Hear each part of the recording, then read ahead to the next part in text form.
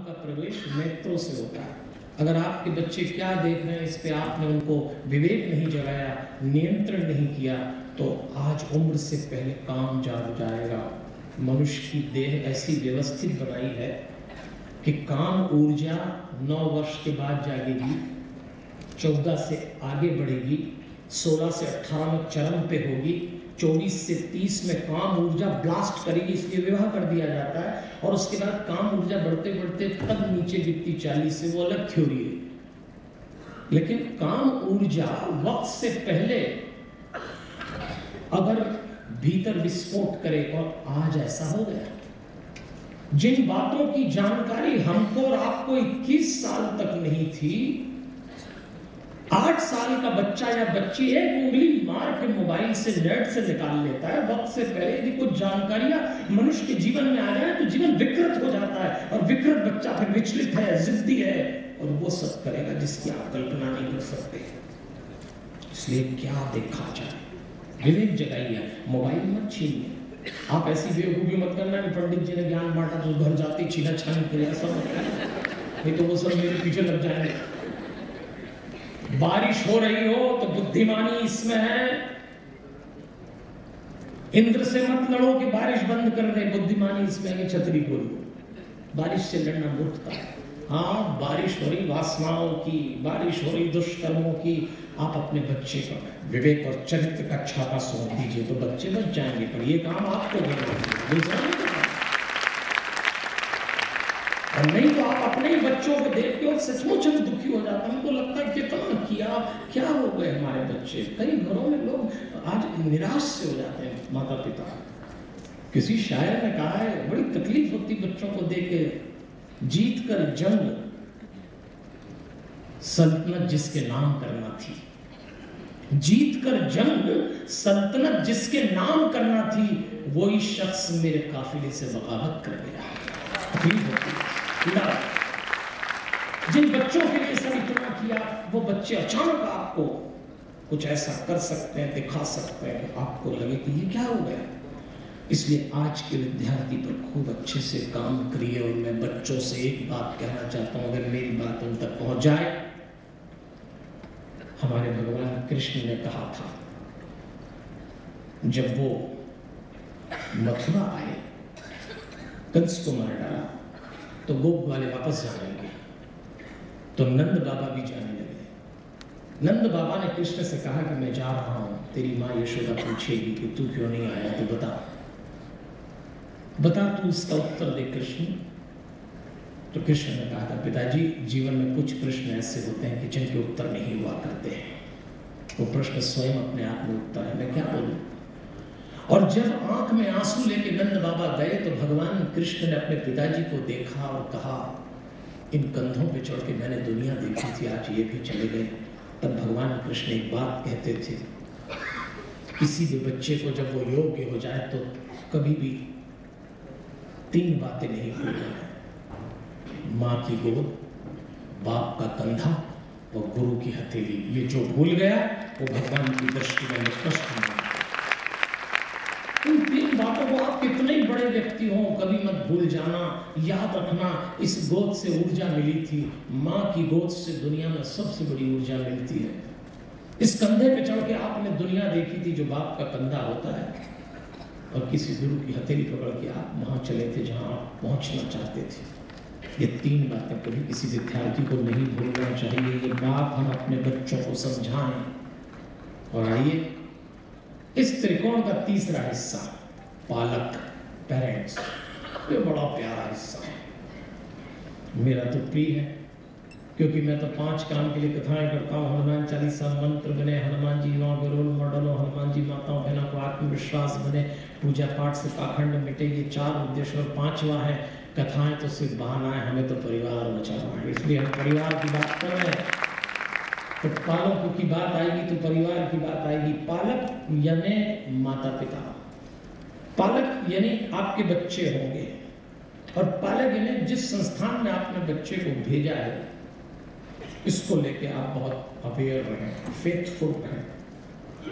कभी कभी parents institute से पेरेंट्स कभी कभी शिक्षकों से काउंटर करते हैं, झगड़ा करते हैं। हो सकता है दो एक मामलों में पेरेंट्स सही हो, लेकिन आपको ये विश्वास करना पड़ेगा कि एक बार आपने बच्चा भेजा है, बच्ची पढ़ने भेजी है तो जहाँ उसके साथ सुलूक हो रहा है उस पर भरोसा रखो। बच्चे बड़े स्मार्ट होते हैं। अगर उनको पता लगता है कि पेरेंट्स फेवर कर रहे हैं तो ऐसी ऐसी स्टोरी सुनाएँगे। सारा चैन गड़बड़ा जाएगा सावधान रहना। इस समय के बच्चे बहुत स्मार्ट हैं। आपसे ज़्यादा हैं। किसने बनाया? हमने ही बनाया। हमने उनको अवसर दे दिए। इसलिए थोड़ा सा सावधान रहिएगा। एक बारीक बात कहना चाहूँगा आपसे।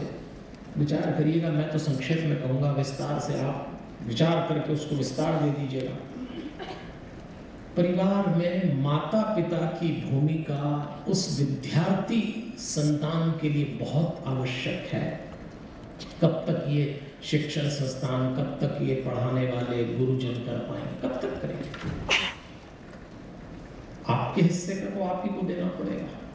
और वही संस्कार, आचार, चरित्र, वो तो आप दे पाएँगे। और आप कब दे पाएँगे? जब आपके भीतर वो होगा। चलो, चरित्र भी दे देना, ये दे देना, लेकिन एक बात इन बच्चों को कौन देगा? जो आज से पंद्रह साल बाद सबसे ज़रूरी है। मैंने कहा ना, भविष्य पे नज़र रखना तो आपने सोचा होगा कि भविष्य पे नज़र रखें तो कौन सा करियर लेना, कौन सी नौकरी, कौन सा बिज़नेस वो सब सोचना, लेकिन एक चीज़ सोचना, पंद्रह साल बाद अपने देश में सबसे महँगा प्रोडक्ट क्या होगा? अपना देश नहीं, दुनिया में। पंद्रह साल बाद वो इन बच्चों को अभी से देने की तैयारी कराओ। सबसे महँगा प्रोडक्ट पंद्रह साल बाद क्या होगा? शांति। सबसे महँगा ढूंढे नहीं मिलने वाली। हमसे ज़्यादा टफ टाइम हमारे बच्चे देखेंगे। कहाँ से लाएँगे शांति? ये शांति किसी स्कूल कॉलेज इंस्टीट्यूट यूनिवर्सिटी में नहीं मिलती। ये शांति किसी तिजोरी से बाहर नहीं आती। ये शांति किसी बही खाते से नहीं निकलती। ये तो आपको अपने भीतर पैदा करना पड़ेगी और माँ बाप अशांत है तो बच्चे कभी शांत रह नहीं पाएँगे। इसलिए यदि आप माता पिता हैं तो आपसे मेरा निवेदन है कि आप बच्चों के सामने बहुत शांत रहें, क्योंकि डीएनए साइंस कहता है माता पिता के शरीर से 24 घंटे जो एनर्जी निकलती है, वो बच्चे कैच करते हैं। इस बात को बारीकी से सुनिएगा विज्ञान सम्मत बात कर रहा हूँ, और सबसे ज़रूरी ये जो सत्र आपने आयोजित किया है, इस सत्र का महत्वपूर्ण बिंदु यही है कि आपके शरीर से यदि आप माता पिता हैं तो जो भी वाइब्रेशन वेव्स हो रहे हैं, वो बच्चे कैच कर रहे हैं, आप चाहें या ना चाहें, ये भी समझ लो अगर ये वेव्स पॉजिटिव हैं तो बच्चे पॉजिटिव एनर्जी लेंगे, अगर ये नेगेटिव है तो नेगेटिव लेंगे। मैं तो लोगों से यहाँ तक कहता हूँ, आपके घर में बच्चे हों, काम करने वाले कर्मचारी हों तो कभी बच्चों के सामने कर्मचारी को ज़ोर से मत डांटना, क्योंकि जैसे आप क्रोधित होते हैं, आपके शरीर से नेगेटिव एनर्जी निकलती है। चपरासी तो झाड़ देगा, थोड़ी देर में। वो पी जाएगा बच्चा जो वहाँ मौजूद है। आपको अंदाज भी नहीं लगेगा। आपको लगा नहीं, और फिर टर्न होकर आप उससे एकदम पोलाइट हो जाते हैं। हाँ बेबी ऑल द टाइम ये लोग ऐसे ही हैं। अरे, आपने भले चैनल चेंज की हो, पर तब तक तो आप जहर भर चुके हैं उसके इसलिए माता पिता को बहुत अलर्ट रहना अगर सचमुच शिक्षक दिवस पे कोई संकल्प लेना चाहें तो आपको संकल्प लेना चाहिए कि यदि आप माता पिता हैं तो कभी भी अपने बच्चों के सामने नेगेटिव एनर्जी ट्रांसफ़र नहीं करेंगे कभी भी। तो वो सारी चीज़ें जो नेगेटिव एनर्जी को क्रिएट करती हैं, उनको अवॉइड करिए। इस पर मेरा अलग विषय है कि कौन सी चीज़ें आपके भीतर नेगेटिव कौन कुछ एक्टिविटी है जो हमारे भीतर की नेगेटिविटी को बढ़ाती है और बच्चे कैच करते हैं। तो कोई संकल्प लीजिए। एक संकल्प यही है कि आज के बाद बच्चों के सामने कभी नहीं लड़ेंगे। ऐसे आप तो नहीं लड़ते हो ठीक ही दिख रहे हो आप लेकिन मैं बताऊँ, कुछ माँ बाप बहुत लड़ते हैं। दूसरों की बात करो, आप बहुत परफेक्ट दिख रहे आपके तो बच्चों ने आपको लड़ता ही नहीं देखा। लेकिन सच बता रहा हूँ, कुछ माँ बाप अपने बच्चों के सामने लड़ते हैं। आप क्या कर? रहे हैं बच्चे को आरो का पानी पिलाना आपको ध्यान है। बच्चों को ताज़ा खाना खिलाना आपको ध्यान है, उसकी डाइट की हाइजीनिक केयर लेना आपको ध्यान है, पर आप जो ये नेगेटिव वाइब्रेशन पिला रहे हैं, इस पर आपका कहाँ ध्यान है? इस पर तो आप चूक रहे हैं। और ऐसा कहते हैं, माँ का दबा हुआ आवेश बच्चे की अशांति बन जाता है। पिता का दबा हुआ आक्रोश बच्चे की जिद बन जाता है। ये समझ के चलना। यदि आप कहते हैं कि हमारा बच्चा बहुत जिद्दी है, कहना नहीं मानता तो उसके जन्म के समय जो आपकी नीति थी, जो आपकी नीयत थी, जो आपका विचार था, जो आपकी जीवन शैली थी, जो आपका आचरण था और जो आपके इरादे थे, वो सब बच्चे में उतर आए। यही आया है। भगवान स्कीम में कोई एक्स्ट्रा नहीं भेज रहा है। आपकी जो तैयारी थी, इसलिए इसको ब्रह्म वाक्य की तरह अपने यहाँ लिख के रखना। औलाद माँ बाप का आईना होती है। आप अपनी ही तस्वीर देख रहे हैं। और फिर वही बात चेहरा खराब हो तो तस्वीर को दोष मत, आईने को दोष मत दो। अपना चेहरा ठीक करिए। कितना आसान होता है आजकल के माँ बाप के लिए कहना, बच्चे बहुत जिद्दी हो गए, कहना नहीं मानते, पता नहीं क्या होगा इनका। इनका कुछ नहीं होगा, ये आप ही का क्रिएशन है। आपने जो तैयारी करी, वो निकल के आ गई। अब लोग कहते हैं, हमारे तो पैदा हो गए, पंडित जी पहले मिलते तो कुछ करते, आप कह रहे थे हम लोग तुरंत हमसे कहते हैं, अरे पंडित जी, आप कह रहे थे कि जन्म देते समय सावधान रहना, वो तो हो गया, वो हो गया। अब क्या करें? हम तो हम करेंगे ना। ये खेल तो जब जाके जब सवेरे। आप अपनी पॉजिटिविटी बढ़ाइए। मेरी बात मानिए, आप माता पिता हैं, आप जितनी पॉजिटिविटी बढ़ाएँगे, बच्चा उतना कंट्रोल में आ जाएगा। और अगर आपको पॉजिटिविटी बढ़ाना है तो एक तरीका बताता हूँ। आज घर जाके कमर सीधी करना, सारा ध्यान अपनी नाभि पे लगाना नेवल पोर्शन पे। यहाँ जीवन बसता है। पहली बार अपनी माँ से कटकर हम इस संसार में यहीं से आए यहाँ आज भी हमारा जीवन है। कमर सीधी करके भीतर ही भीतर सारा ध्यान नाभि पे लगाना और आपका जिस धर्म में जिस मंत्र से ताल्लुक हो, आप वो मंत्र बार बार अपनी नाभि पे रखना, सांस के साथ इनहेल करना और पाँच सात बार जो भी मंत्र की रेंज हो, उतना वो चला जाएगा। मैं तो हनुमान चालीसा का आदमी इसलिए लोगों से कहता हूँ, यदि माँ बाप को बच्चों को कंट्रोल में रहना हो तो भीतर उतर के अपनी नाभि पर टिकना और आती जाती सांस से हनुमान चालीसा की सातवीं चौपाई बोलना। विद्यावान गुणी अति चातुर राम काज करीबे को आतुर एक महीने में आप पाएँगे, अचानक कोई चमत्कार जादू नहीं हुआ। विज्ञान काम कर गया, आपकी नाभि काम कर गई और वो मंत्र काम करे। सांस मंत्र और चक्र मिल जाए, आपके शरीर में आना ही परिवर्तन। ऐसे और भी प्रयोग है। लेकिन आपको करना पड़ेगा। दूसरी बात आपको इस बात, ये मैं जो बात कर रहा हूँ, ये अवेयरनेस की है, और दूसरी बात अलर्टनेस की है। आप सबसे पहले इस बात को चेक करना, उनके मित्र कौन है? संग क्या है?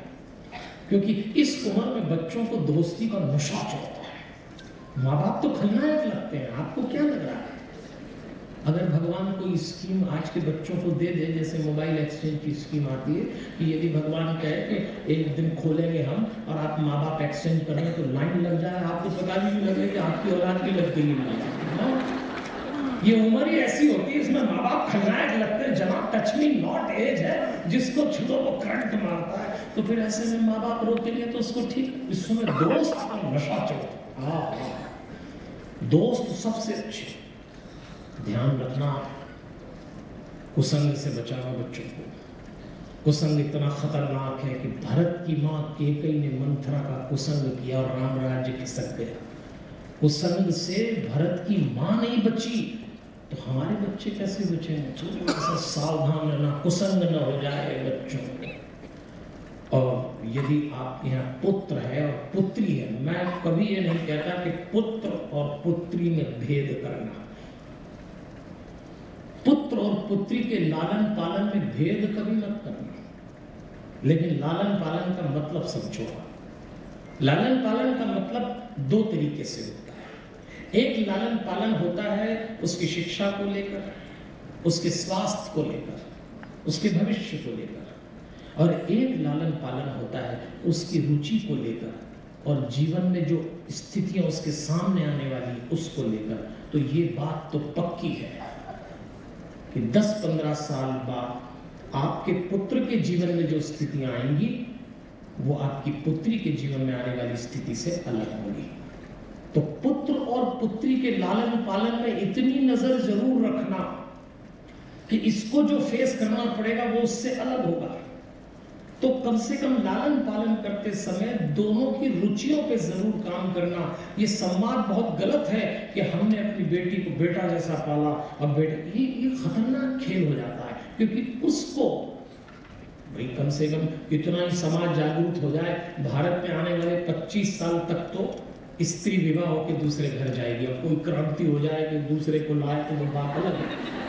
लेकिन 25 साल तक तो यही चलने वाला है कि आपको अपनी बेटी का विवाह करना है और जब वो विवाह के जिस भी घर में जाएगी, बहुत फ़र्क पड़ता है।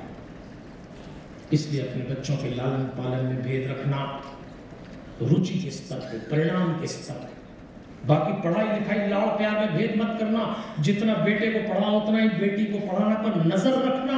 उसकी व्यक्तिगत रुचि पे, उसका धैर्य, उसकी समझ अलग परिणाम देगी। इसका धैर्य, इसकी समझ अलग परिणाम देगा। क्योंकि स्त्री और पुरुष में वैसे तो कोई भेद नहीं, पर एक भेद है। जीवन की एक यात्रा जो स्त्री करती है, वो पुरुष नहीं करता। पुरुष बहुत सफ़र करता है। उसके मुकाबले स्त्रियाँ कम सफ़र करती हैं। लेकिन जीवन की एक यात्रा जो स्त्री करती है, वो पुरुष नहीं करता। और वो होती है मायके से ससुराल तक की यात्रा। ये सिर्फ़ स्त्री करती है। इसमें उसको अपनी अस्मिता, अपना वंश, अपनी कुल, अपनी पहचान और अपना नाम तक देना तब होती है।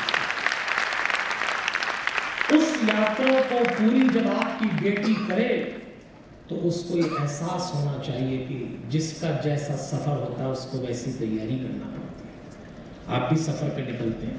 आप हिल स्टेशन जाएँगे तो गर्म कपड़े ज़्यादा रखेंगे।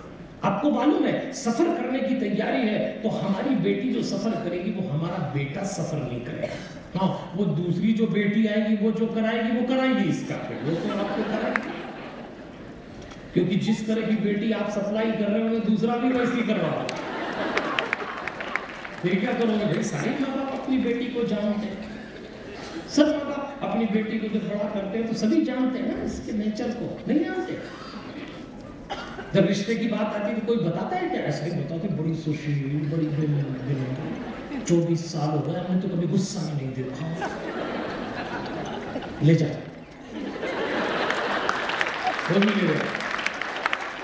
फिर ओरिजिनल आइटम बाहर आया। फिर क्या होगा? भैया तो लड़के के बारे में भी ऐसा ही बोलते हैं, इतना आज्ञाकारी, आज के समय तो ऐसा लड़का ही नहीं मिलता जो कहो वो करता है, भली देना नहीं सुन रहा माँ। लेकिन उसकी कथा तो ऐसी सुना सात आठ बजे के घर आ जाता कोई बताता है क्या?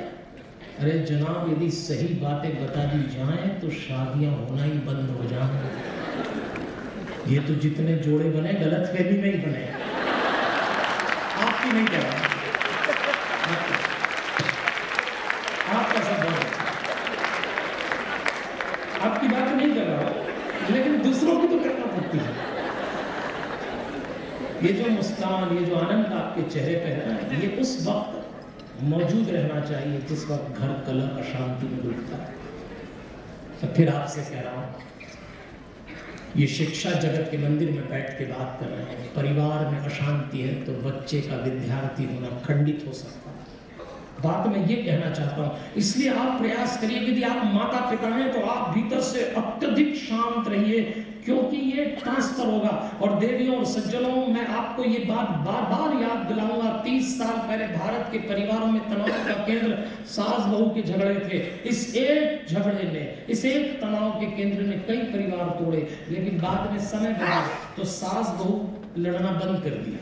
कोई एक्स्ट्रा पराक्रमी होगा भी चल रहा होगा। सामान्य रूप से अब नहीं लड़ती क्योंकि वो सारी बहू सास बन गई। अच्छा पहले बच्चे भी पाँच छह होते थे तो सास लड़ बुड़ा के इसके घर से भी जाऊँगी, उसके घर से भी जाऊँगी। ये तो दो ही है तो कहाँ जाओ तो मरो यही अब अकल आ गई तो सास नहीं लड़ती। जो तनाव का केंद्र था, वो शिफ्ट हुआ। और अभी शिफ्ट चल रहा है शिफ्ट होके पति पत्नी के बीच में। इस समय अंडर करंट बहुत टेंस हस्बैंड वाइफ लेकिन ये भी नहीं चलेगा बेफिक्र हो आने वाले पंद्रह साल में ये तनाव का केंद्र विदेश स्टाइल अपन ने तो सारी, अपने देश ने तो पूरा अमेरिका का मॉडल अपना लिया तो ये भी आ जाएगा। नहीं बन रही तो तलाक लो, छोड़ो, भागो यहाँ से, तुम तुम्हारे हम हमारे अब ये नहीं चल रहा। लेकिन खतरा क्या है? तीस साल बाद ये जो तनाव का केंद्र आज पति पत्नी के बीच है, ये एक बार फिर शिफ्ट होगा।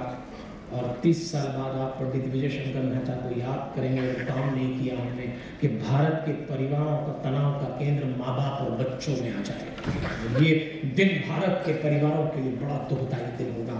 बच्चे माँ बाप को माँ बाप नहीं मानेंगे। दो संस्थाओं के कारण आज भारत बचा हुआ है। एक गुरु नाम की संस्था, एक माता पिता नाम की संस्था। आप दोनों दम तोड़ रही है। चिंता की बात है। कैसे बचेंगे परिवार? गुरुओं की हालत तो दस साल में जो हुई तो गुरु से ही डर गए। माँ बाप नाम की संस्था भी दांव पे लग गई तीस साल बाद तनाव का केंद्र माँ बाप और बच्चे होंगे। आप आज से काम करिए। यदि आप माता पिता हैं तो आप पति पत्नी भी होंगे, लेकिन पति पत्नी की जो नेगेटिविटी है, वो अपने पेरेंट्स होने तक ट्रांसफ़र नहीं होना चाहिए। स्विच ओवर हो जाएँगे, तुरंत स्विच ओवर इसलिए आपको मेडिटेशन करना पड़ेगा। योग करना पड़ेगा कि आपकी पॉजिटिविटी आपके बच्चों में हो जाए। आइए देवियों से जो मैं कथा का समापन करने जा रहा हूँ, मेरी बात पूरी करूँगा। आने वाले तीन मिनट आप बहुत गंभीरता से लीजिए इस विषय को। अगर हम चूक गए तो हमारे बच्चे हमसे भी अधिक टफ टाइम देखें। जरा सा भी मत चूकना। जितनी पॉजिटिविटी दे सकते हैं दे जी, आपको घटना सुनाता हूँ। भगवान कृष्ण कैसे मरे थे आपको मालूम है? एक जरा नाम के शिकारी ने तीर चलाया था, जहर बुझा, और उनके पैर के तलवे के अंगूठे में लगा था। भरे जंगल में चले गए कृष्ण। दुर्योधन कैसे मरा था? उसकी जंघाओं पे भील ने प्रहार किया था। इन दोनों घटनाओं के पीछे हुआ क्या था? यशोदा माँ जब भगवान कृष्ण को बचपन में खेला रही थी तो एक साधु ने आके कहा कि मेरे पास एक ऐसा लेप है। कि तेरे बेटे के शरीर पर लगा दूँ। तो यशोदा, इसका शरीर वज्र का हो जाएगा और कोई शस्त्र और अस्त्र काम नहीं करेगा। यशोदा को विश्वास तो नहीं हुआ, पर साधु की बात तो मान लिया, लेप ले लिया। और साधु कह गया, ठीक से लगा देना माँ। थी, भगवान उछल कूद भी बहुत करते थे। माँ ने लेप लगाया। साधु ने कहा था सावधानी से लगाना। तो लेप लगाते लगाते माँ को ध्यान नहीं रहा। और कृष्ण के एक पैर के तलवे तक आते आते वो लेप खत्म हो गया। उतना हिस्सा रह गया। दुर्योधन युद्ध के अंतिम क्षणों में जब उसकी माँ गांधारी ने जिसने स्वैच्छिक अंधत्व लिया था, उसने कहा, मुझे वरदान है कि अगर मैं पट्टी खोल के पहली दृष्टि जिस पर डालूँगी, वो वज्र का हो जाएगा। गांधारी को लगा कि अब पांडव मेरे बेटे को मार डालेंगे तो उन्होंने आदेश दिया, दुर्योधन को बोलो, युद्ध के सत्र में मेरे पास आए और निर्वस्त्र आए, मैं उसको देखूँगी तो उसका पूरा शरीर लोहे का हो जाएगा तो फिर अब भीम नहीं प्रहार करेगा मारेगा नहीं मरेगा नहीं और दुर्योधन चला तो रास्ते में कृष्ण जी मिल गए। शकुनी हमेशा दुर्योधन से कहता था, इस आदमी से बात करें तो ध्यान रखना इसकी बात के कई मतलब होते शकुनी से बड़ा कोई षड्यंत्रकारी और समझदार नहीं था। दुर्योधन भूल गए मामा की सीख। जैसे मिले तो भगवान ने कहा, अरे ये कहा जा रहे हो? सत्यम शिवम सुंदरम हो। दुर्योधन को शर्म आ गई। उसने कहा, आप यहाँ कैसे अरे भगवान ने कहा, मैं यहाँ कैसे छोड़? तुम ये कैसे? दुर्योधन ने कहा, देखो, कृष्ण सही बात तो ये माँ ने कहा है, कपड़े पहन के मत आना। तो कृष्ण ने कहा कि माँ ने कहा है तो तू कौन सी माँ की बात सारी मानता है? सुन, युवा पुत्र को माँ के सामने मर्यादा से जाना चाहिए। मर्यादा तोड़ेगा तो पाप लगेगा, तुझे और तेरी माँ। दुर्योधन को तो समझ नहीं आ रहा। अरे फिर क्या करूँ? बोले, कम से कम जंघाओं पे तो पत्ते लपेट ले। दुर्योधन ने कृष्ण का कहना माना, जंघाओं पे पट्टे लपेट लिए और जैसे गांधारी ने दृष्टि खोली और देखा, अरे ये क्या किया? कौन मिला था तुझको? कृष्ण हाँ दुर्योधन, समझ गई गांधारी ये उसी का कड़ा धरा और उतना ही हिस्सा वज्र का होने से रह गया। और भीम ने वही प्रहार किया। एक बात याद रखना, प्रयासों में अगर थोड़ी सी भी चूक हो गई, मौत हो गई कृष्ण की, मौत हो गई दुर्योधन की। चूक मत जाना बच्चों के लालन पालन में। इतनी सी भी चूक हो गई, इतना सा भी गैप हो गया, दुर्गुण प्रवेश कर जाएँगे और आपको अपने ही कुल और वंश में अशांति का अनुभव होगा। तो मैं आपसे निवेदन करूँगा थोड़ा सा सावधानी से। आज इतना सुंदर आयोजन आदरणीय प्रदीप जी और उनके समूचे पदाधिकारी। आप सबने बहुत सुंदर आयोजन किया। आप जैसे पढ़े लिखे, माननीय गुरुजनों, आपके सामने मैं क्या बोलता हूँ, मेरी वाणी से जो मैं बोल सकता था, मैंने आपको अपनी बात प्रस्तुत कर दी। पर देवी और सज्जनों, अब मैं अपनी वाणी को विराम दूँ। मुझे जो आपने समय दिया छः बीस पे मैंने बोलना शुरू किया, सात पैंतीस हो रहे, एक घंटे पंद्रह मिनट मुझे आपसे बोलना था। मैंने अपनी बात रखी, दुनिया बहुत बड़ी पर गोल है। हम रोज़ कहीं ना कहीं मिल सकते हैं, अखबार में, रेडियो में। सात अक्टूबर को एक कार्यक्रम हो रहा है मैं आपको आमंत्रित कर रहा हूँ। दशहरे के एक दिन पहले फिर बात करेंगे अपन, पर अभी एक बात मैं आपसे कहना चाहता हूँ। सारी तैयारी आपको करना है, चाहे आप शिक्षक हो, चाहे आप माता पिता हो। चाहे आप और कोई व्यक्ति हो, दूसरा कोई कुछ नहीं कर पाएगा। न हम सफ़र से निकलेगा, न हम नशी से निकलेगा। न हम सफ़र से निकलेगा, ना हम नशी से निकलेगा, हमारे पाँव का कांटा हम ही से निकलेगा। आप ही को तैयारी करना पड़ेगी। आपने मुझे बड़ा नाम दिया। आपने बड़े सम्मान से मेरी बात सुनी। मैं एक शिक्षक का बेटा हूँ।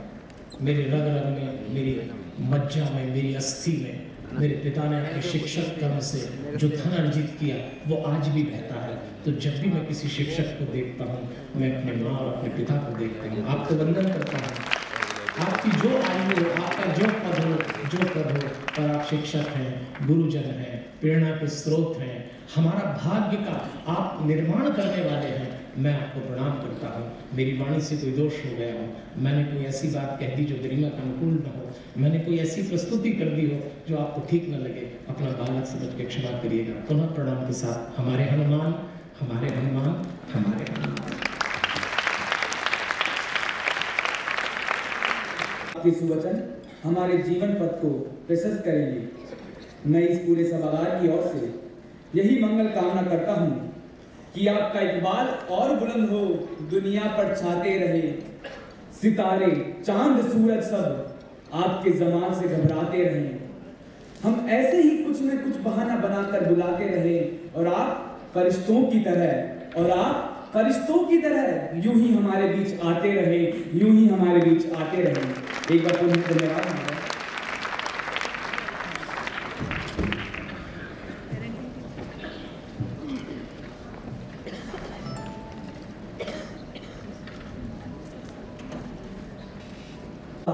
हे शिक्षक, तेरा मोल नहीं। भाग्य विदाता छात्रों का, हे शिक्षक, तेरा तोल नहीं।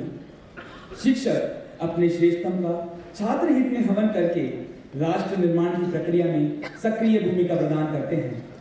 इसी श्रेष्ठतम का सम्मान व प्रोत्साहन विगत कई वर्षों से शिक्षक सम्मान समारोह के इस गरिमामय मंच से किया जाता रहा है। इसी सात्विक परंपरा का अनुसरण करते हुए इस वर्ष भी प्रेरक कड़ी के रूप में शिक्षक सम्मान इस मंच से अनुमोदित है।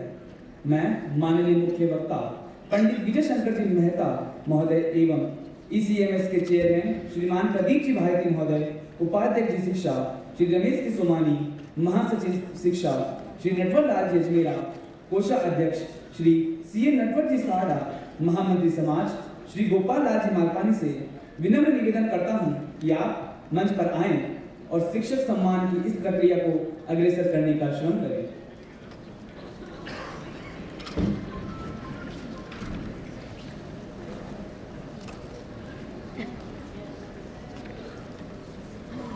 शॉल, श्रीफल एवं प्रशस्ति पत्र तथा स्मृति चिन्ह प्रदान किया जा रहा है।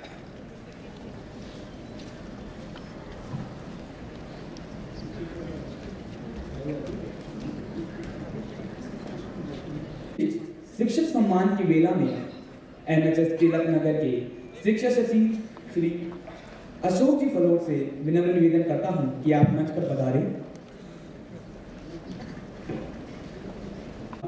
डॉक्टर मधु गुप्ता महोदय लेक्चर हिंदी को श्रेष्ठ अध्यापन लिए चयनित किया गया है। मैं मंच पर डॉक्टर मधु गुप्ता महोदय को पुरस्कार ग्रहण करने हेतु आमंत्रित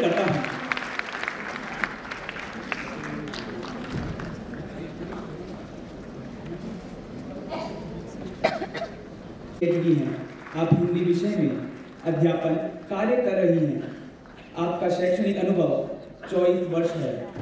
आपने अपने अध्यापन के कारण उत्कृष्ट परीक्षा परिणाम परिणाम दिए हैं। आपने हमारे लिए यह अत्यंत गर्व की बात है कि डॉक्टर मधु गुप्ता महोदया राष्ट्रीय स्तर व राज्य स्तर पर श्रेष्ठ शिक्षिका के रूप में सम्मानित हो चुकी हैं।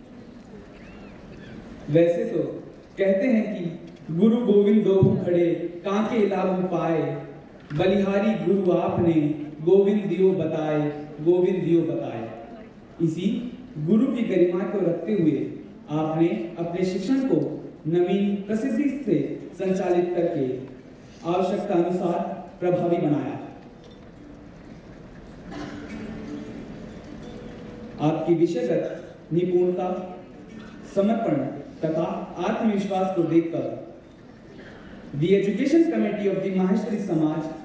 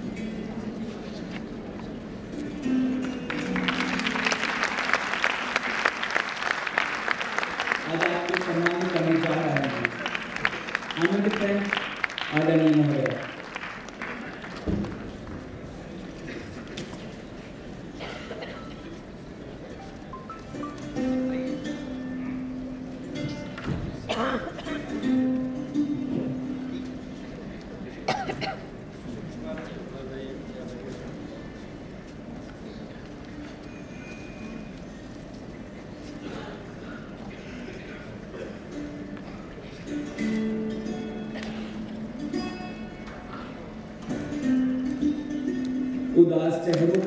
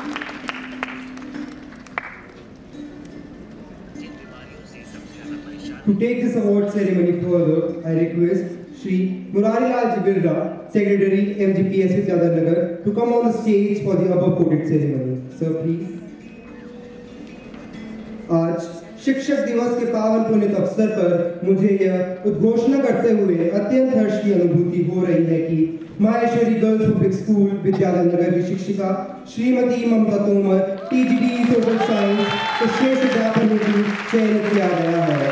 मैं मंच पर श्रीमती ममता तोमर को पुरस्कार ग्रहण करने हेतु आमंत्रित करता हूँ। आपकी शैक्षणिक योग्यता एम ए बी है। आप सोशल साइंस विषय में अध्यापन कार्य कर रही हैं। आपका शैक्षणिक अनुभव 19 वर्ष का है। आपने अपने अध्ययन के कारण उत्कृष्ट परीक्षा परिणाम दिए हैं। वैसे तो कहते हैं कि गुरु अन्नत गुरु कथा अन्यता। इसी भावना को चरितार्थ करते हुए आपका अन्य गतिविधियों की ओर भी रुझान व भागीदारी सक्रिय और प्रशंसनीय रही है। आपने अपने प्रत्येक कर्तव्य को सहजता से प्राथमिकता देकर परिपूर्ण किया और सदैव अपनी गौरवशाली को परिष्कृत करने का प्रयास किया। आपकी विषयगत पारंगता संपन्न तथा आत्मविश्वास को देखकर the education committee of Maheshwar Samaj आज आपको सम्मानित करने जा रहा है।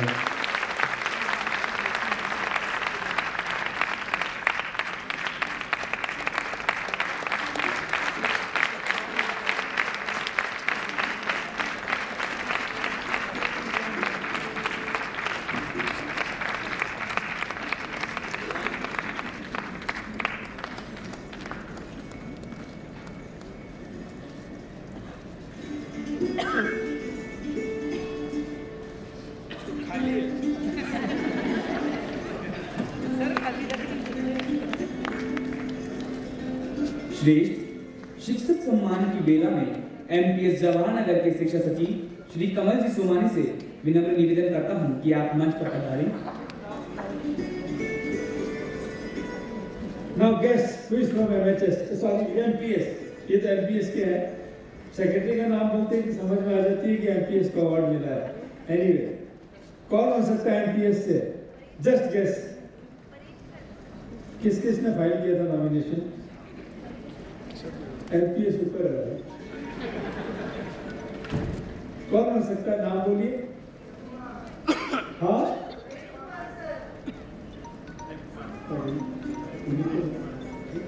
नहीं नहीं इनको पहले दोबारा कैसे करें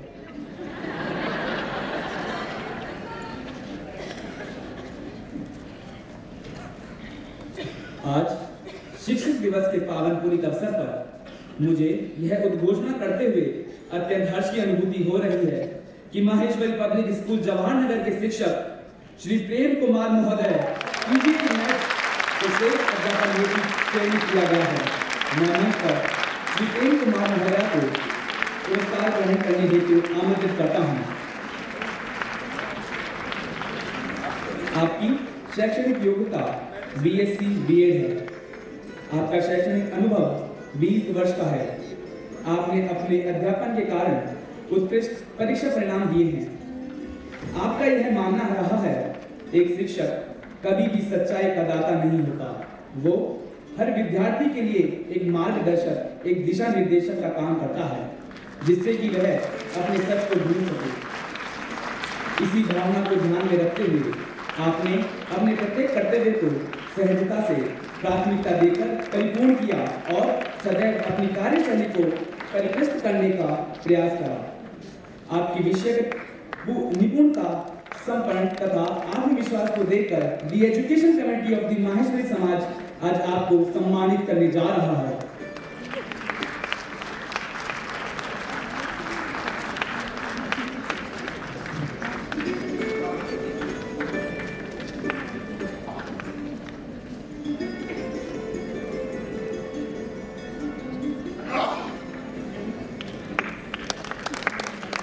Next in the queue, I request Shri Mukesh Ji Rathi, Secretary, MPS Pratap Nagar, to come on stage for the above quoted ceremony. Sir, please.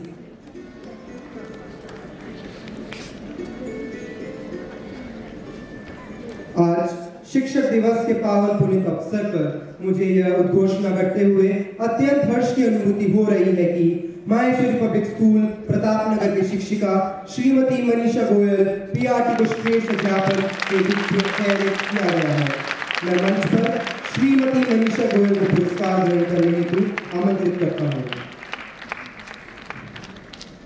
आपकी शैक्षणिक योग्यता एम ए बी एड है।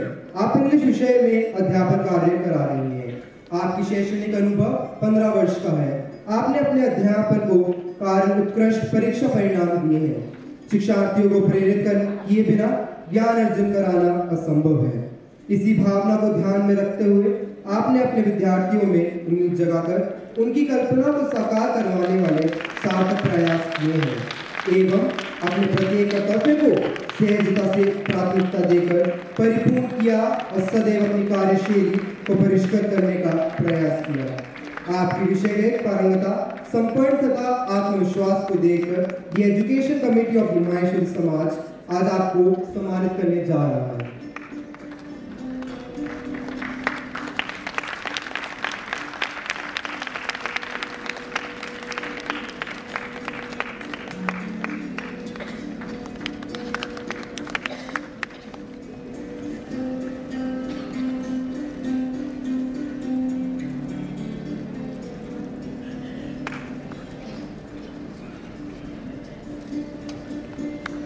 श्रेष्ठ शिक्षक सम्मान की बेला में एमपीएस इंटरनेशनल तिलक नगर के शिक्षा सचिव श्री निर्मल जी दरकर महोदय से विनम्र निवेदन करता हूँ कि आप मंच पर पधारें।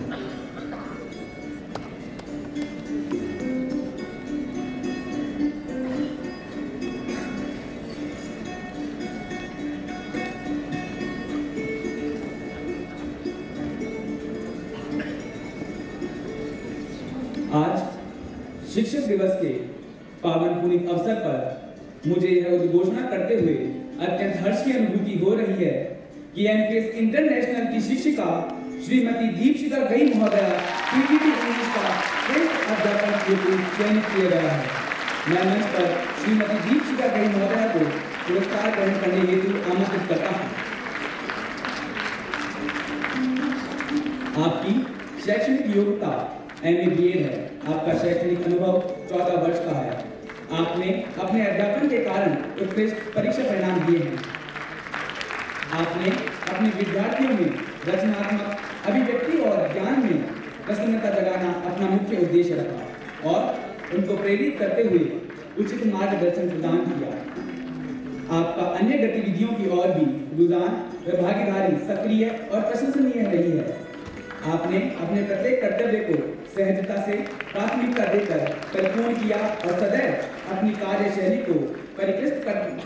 प्रयास किया। आपकी विषयगत निपुणता संपन्न तथा आत्मविश्वास को देखकर the education committee of the Maheshwari Samaj ने आज आपको सम्मानित करने जा रहा है।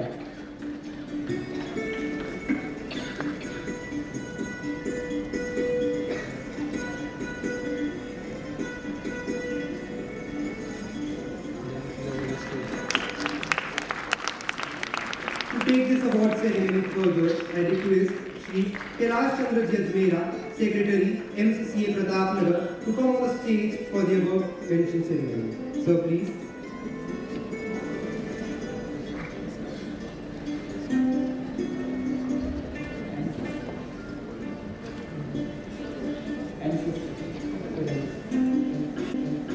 I request Shri Kailash Chandra Secretary, MCCA, to come on the stage for the above mentioned ceremony. Sir, please.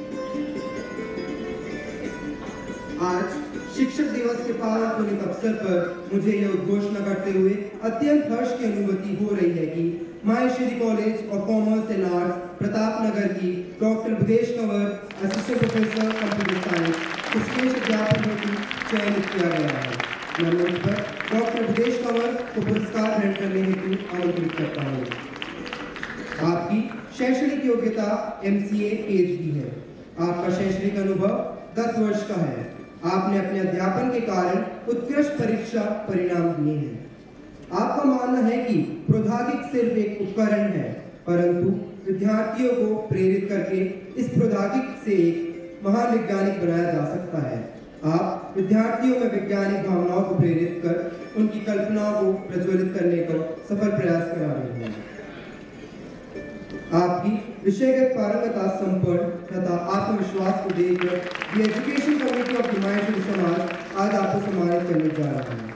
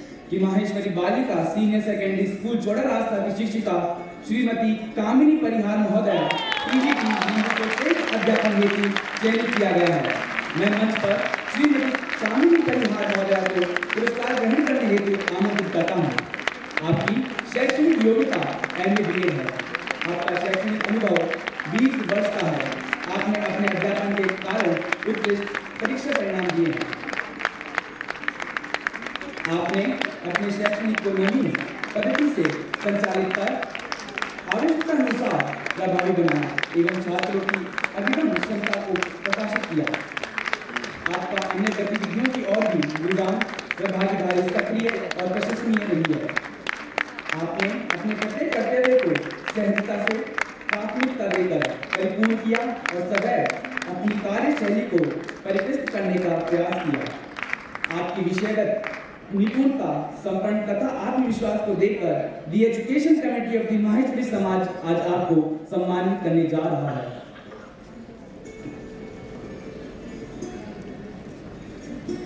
Let us all have a huge round of applause for all the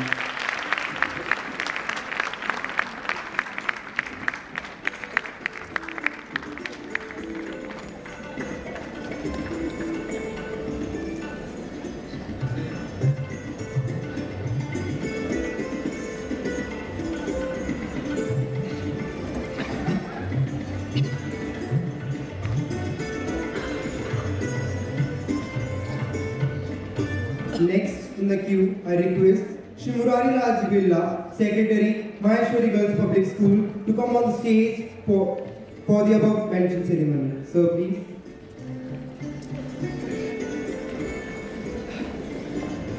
आज शिक्षक दिवस now start category number three आज शिक्षक दिवस के पावन अवसर पर मुझे यह घोषणा करते हुए अत्यंत हर्ष की अनुभूति हो रही है कि Maheshwari girls public school Vidyadhar Nagar के शिक्षक श्री सुनील व्यास की टीजीटी स्पोर्ट्स श्रेष्ठ शैक्षणिक गतिविधियों हेतु चयनित किया गया है। मैं मंच पर श्री सुनील व्यास को पुरस्कार ग्रहण करने हेतु आमंत्रित करता हूँ। आपकी शैक्षणिक योग्यता M A M P E D M P H I L है। आपका शैक्षणिक अनुभव 11 वर्ष का है। आपने अपने विषय पर विशेष अधिपत्य है। आपने छात्राओं को प्रोत्साहित कर खेल की बारीकियों से परिचित कराया, तथा अच्छे खिलाड़ियों की श्रेणी में शिक्षार्थियों को राज्य और राष्ट्रीय स्तर पर परचम फहराया आपकी कार्य क्षमता व संस्था के प्रति समर्पण भाव को देखकर ये एजुकेशन कमेटी ऑफ़ हिमाचल समाज आपको प्रोत्साहित प्रदान और सम्मानित करने जा रहा है।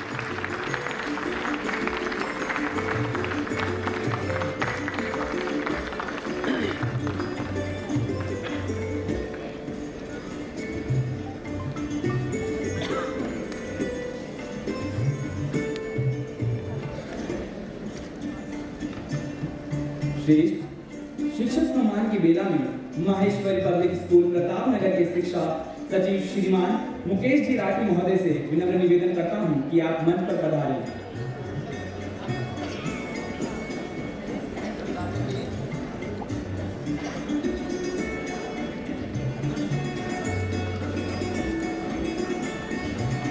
आज शिक्षक दिवस के पावन अवसर पर मुझे यह उद्घोषणा करते हुए अत्यंत हर्ष की अनुभूति हो रही है कि माहेश्वरी पब्लिक स्कूल प्रताप नगर के शिक्षक श्रीमान महिपाल बौदारा महोदय टीजीटी स्पोर्ट्स को गतिविधियों हेतु चयनित किया गया है। मैं मंच पर श्रीमान महिपाल बौदारा महोदय को पुरस्कार ग्रहण करने हेतु आमंत्रित करता हूँ। आपकी शैक्षणिक योग्यता पीबीएफ एमपीडी है, आपका शैक्षणिक अनुभव 21 वर्ष का है। आपका अपने विषय पर विशेष अधिकार है। आपने शिक्षार्थियों को समय समय पर प्रोत्साहित कर खेल के प्रति रुचि उत्पन्न कराई तथा अच्छे खिलाड़ी तैयार करे। विभिन्न प्रतियोगिता में अच्छा प्रदर्शन कर विद्यालय का नाम रोशन किया। आपकी कार्य क्षमता व संस्था के प्रति समर्पण, भाव को देखकर ये education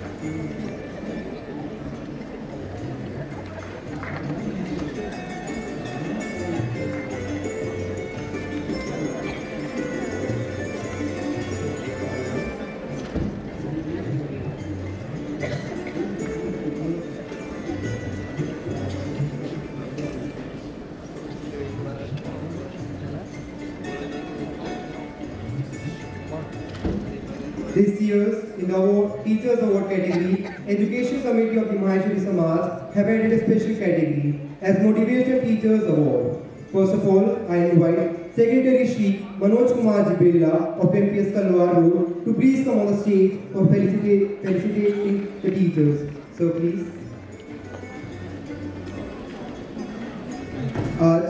शिक्षक दिवस के पावन पुनित अवसर पर मुझे यह उद्घोषणा करते हुए अत्यंत हर्ष की अनुभूति हो रही है कि Maheshwar public school, Kalwar road की शिक्षिका श्रीमती प्रतिभा पानिया को श्रेष्ठ अध्यापन हेतु चयनित किया गया है। मंच पर श्रीमती प्रतिभा पानिया को पुरस्कार ग्रहण करने हेतु आमंत्रित करता हूँ। आपकी शैक्षणिक योग्यता एम ए है। आपका शैक्षणिक अनुभव पंद्रह वर्ष का है। आपने अपने अध्यापन के कारण उत्कृष्ट परीक्षा परिणाम दिए हैं। वैसे तो कहते हैं कि अपने विद्यार्थियों में सृजनात्मक भाव और ज्ञान का आनंद जगाना ही एक शिक्षक का सबसे बड़ा महत्वपूर्ण गुण है।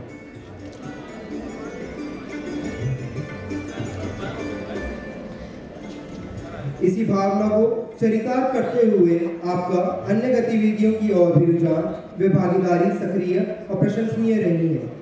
आपने अपने प्रत्येक कर्तव्य को सहजता से प्राथमिकता देकर परिपूर्ण किया और सदैव अपनी कार्यशैली को परिष्कृत करने का प्रयास किया।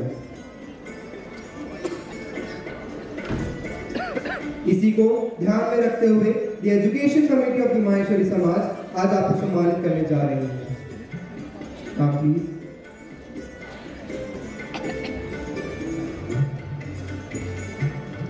आमंत्रित हैं आदरणीय महोदय।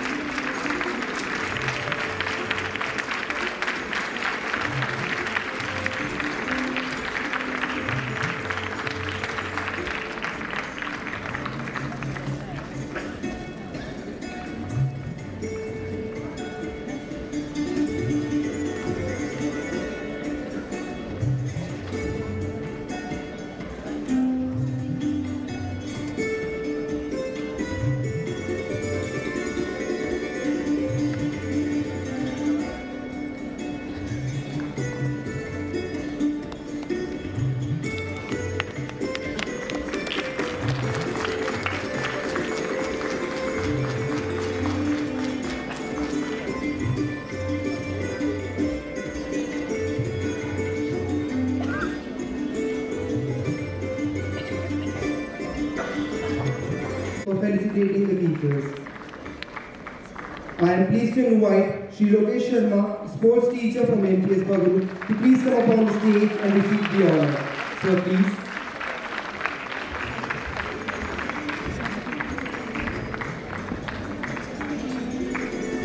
I am pleased to invite Shri Lokesh Sharma, sports teacher from MPS Bagaru, to please come upon the stage to receive the honor. Sir, please.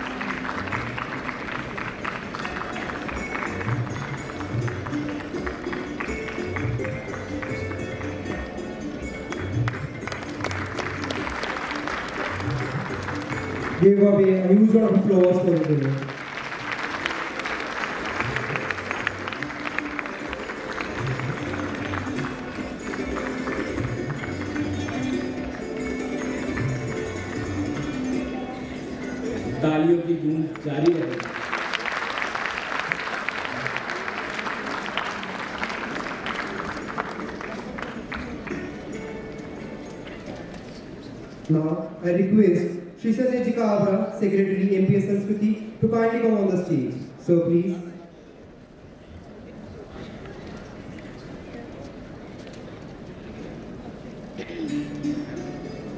I feel blessed to invite Mrs. Aditi Marpani, pre-primary teacher from MPS Sanskriti, to please come upon the stage and receive the award. Ma'am, please.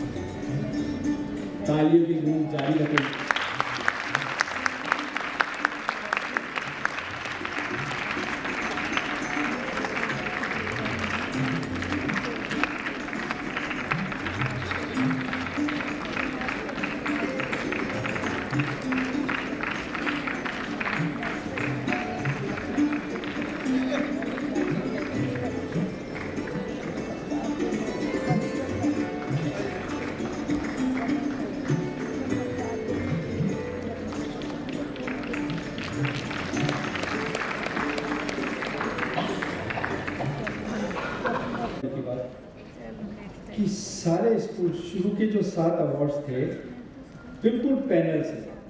उसकी jury भी यहाँ बैठी है। आपके principals थे and member Pradeep ji and D M Bharati और नटवर जी तो थे उसमें। लेकिन इतने चांस की बात है कि सारे जो स्कूल्स को जो आज award first seven first categories में जो सेवन अवार्ड्स हैं, हमारे सारे स्कूल उसमें सीरियल वाइज आए जो आज यहाँ दिए गए हैं। इसमें कहीं पर भी कोई चीज़ मतलब ऊपर नीचे भी नहीं करनी पड़ी मैनिपुलेट कुछ नहीं करना पड़ा, सच है? तो give a big round of applause for all winners and हम ये रिक्वेस्ट करना चाहेंगे ई सी एम एस कि नेक्स्ट टर्म में ये कंपटीशन बहुत टफ होना चाहिए और जो उस परफॉर्मा में क्राइटेरियाज थे, कृपया आप उन पर वर्किंग करें। उनमें एक एक पॉइंट के, उन सब में नंबर्स हैं, उन सब क्राइटेरियाज पे आप लोग वर्किंग करेंगे तो निश्चित रूप से जो एजुकेशन कमेटी के स्कूल्स का जो नाम जयपुर में एजुकेशन में और डिसिप्लिन में है, था और आगे भी रहेगा, वो डेफिनेटली अगर आप इन क्राइटेरियाज को पूरा करेंगे और अब इसके बाद वापस एम Thankfulness and gratitude is a successful model of living. The thankful heart opens our eyes to the multitude of blessings that continuously surround us. So, we have come to that moment where, where I request Shri Pradeep Ji Bhayati, Chairman ECMS,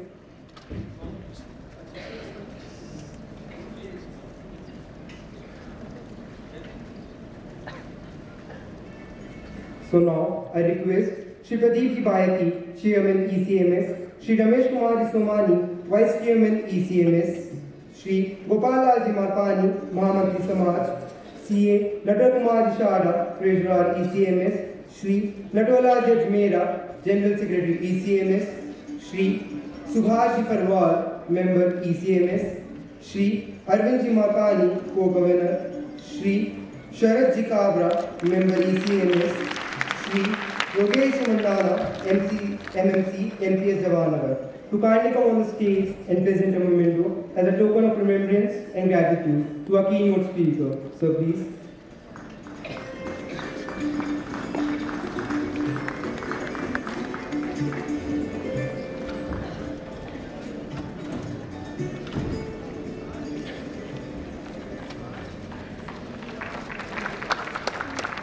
Let all of us join our hand together and make this echo in.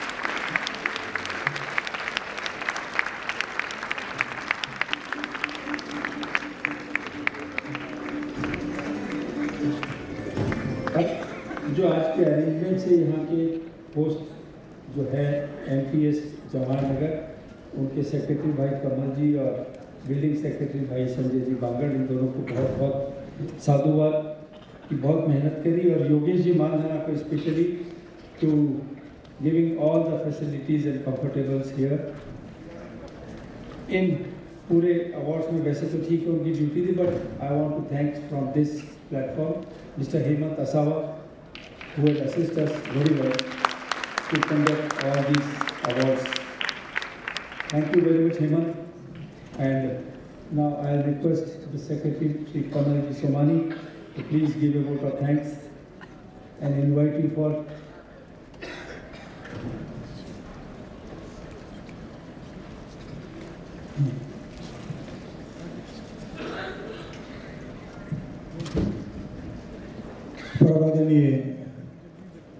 Pandit Vijay ji Mehta को सादर नमन करते हुए आप सभी को प्रणाम, नमस्कार। कोई सफलता कहता है कोई मंजिल समझता है। कोई सफलता करता है, कोई मंजिल समझता है, मगर छात्रों की कमज़ोरी, मगर छात्रों की कमज़ोरी बस शिक्षक समझता है। छात्रों की कमियों को दूर कर, उन्हें संतुष्ट राय प्रदान करने वाले शिक्षक प्रत्येक व्यक्ति के जीवन में मान, ज्ञान, शिक्षा की नींव रखते हैं। वे न केवल हमें शिक्षित करते हैं, बल्कि हमें जीवन जीने का सबक भी सिखाते हैं। मैं मैसूर शिक्षण संस्थाओं के समक्ष शिक्षक वृंद तथा समस्त शिक्षकों का नेतृत्व करने वाले कुशल प्राचार्य, उपप्राचार्य का धन्यवाद करना चाहूँगा, जो अपनी कर्मठता से शिक्षण संस्थाओं में शैक्षणिक व शैक्षणिक सह शैक्षणिक गतिविधियों में निरंतर नित नया आयाम स्थापित कर रहे हैं। और उम्मीद करूँगा कि आगे भी इन शिक्षण संस्थाओं को नई ऊंचाई प्रदान करेंगे। सभागार में उपस्थित समाज के सभी गणमान्य पदाधिकारीगण का मैं आभार व्यक्त करता हूँ जिन्होंने हमारे शिक्षक सम्मान समारोह में ऊपर उपस्थित होकर कर सभी का मान बढ़ाया। अंत में मैं आपसे सभी से रिक्वेस्ट करूँगा सब भोजन लेकर के ज़रूर पधारें। धन्यवाद। जय भारत जय Mahesh.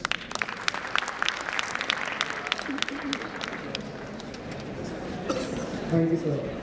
Now, we have come to the final innings of this occasion. I request you all to kindly stand up at your places for the national anthem.